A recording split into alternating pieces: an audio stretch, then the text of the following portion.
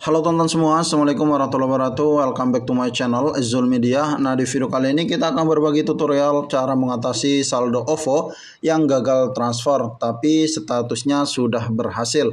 Namun selanjut bagi teman-teman yang belum subscribe silahkan klik tombol subscribe dan nyalakan lonceng notifikasinya. Biar nanti teman-teman tidak ketinggalan tutorial terbaru seputar OVO dari channel ini. Dan untuk teman-teman yang sudah subscribe kami ucapkan terima kasih banyak. Nah apabila teman-teman mengalami saldo OVO teman-teman itu gagal transfer padahal di historinya sudah berhasil teman-teman. Untuk pertama silahkan buka aplikasi OVO teman-teman ya. Dan selanjutnya silahkan klik aja history yang di sini. Silahkan diklik ya teman-teman. Untuk apa? Untuk screenshot buktinya. Nah misal saya akan ambil contoh ya ini ya. Hanya sebatas contoh. Misal seperti ini. Kita screenshot terlebih dahulu sebagai bukti ya teman-teman. Nah selanjutnya silahkan teman-teman kembali lagi ya. Silahkan kembali Oke, kemudian silakan pilih menu profil ya yang ada di pojokan bawah dan silakan geser aja ke bawah sampai di situ ada pusat bantuan ya. Kita klik aja pusat bantuan yang ini. Oke, silakan ditunggu. Nah, selanjutnya teman-teman bisa geser ke bawah. Di situ ada um, transfer ya, yang ini ya, transfer kita pilih. Nah, kemudian kita pilih rekening bank. Nah, kita ambil aja sembarangan. Nah, di situ ada mulai chat ya teman-teman. Nah, teman-teman bisa pilih yang mulai chat.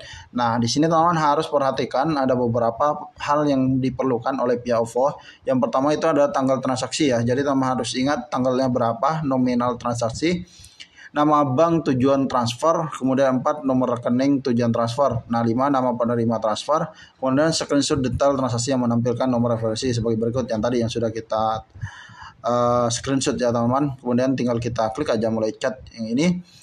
Dan silakan teman-teman ketikkan aja pesannya di sini ya teman-teman. Misal yang tadi adalah uh, saldo OVO uh, transfer uh, saldo OVO ke ke rekening tidak masuk. Seperti ini. Hmm, tapi status berhasil. bisa seperti ini ya teman-teman. Nah selanjutnya teman-teman bisa klik aja lanjut dan silakan tunggu nah di sini teman harus pilih ya tanggal transaksinya berapa misal tanggal 7 kemudian nominalnya berapa ya, 54.000 ya misal seperti ini.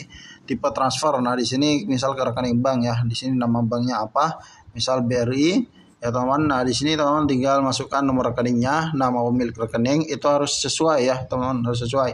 Nah di sini teman-teman masukkan screenshotnya yang tadi. Kita ambil pilih dari galeri Nah, kemudian kita masukkan aja. Nah, di sini kalau sudah teman-teman di sini diisi semua ya, teman-teman. Ini hanya sebatas biar lebih cepat aja ya.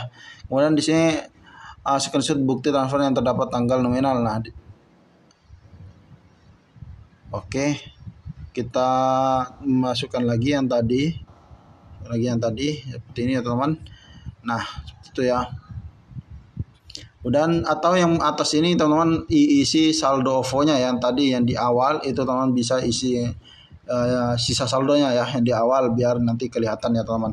Nah, itu ini kita isi yang saldo di, di muka yang tadi. Kemudian ini adalah yang bukti transfer, kemudian kita klik aja lanjut.